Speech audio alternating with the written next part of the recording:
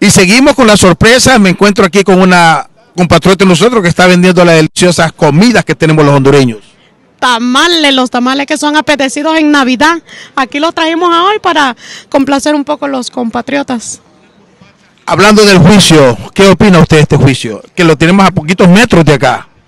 Bueno, estamos esperando a la justicia porque ha habido tanto daño en nuestro país y estamos viendo a ver qué solución se toma en esto, dejando todo en manos de Dios que se haga justicia.